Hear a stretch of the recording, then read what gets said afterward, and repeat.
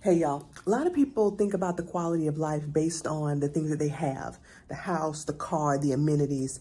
But I just want to challenge you this week to think about your quality of life based on the way that you actually live. Like take away all the things, put yourself in a different mindset.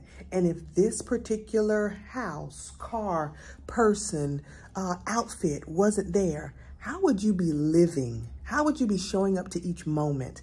Not how would you navigate the resources you have to get to an outcome, but how would you be living each day to get to a better version of you? That is the quality of life. That's the practice of getting to your gift and really living deeply in the vision.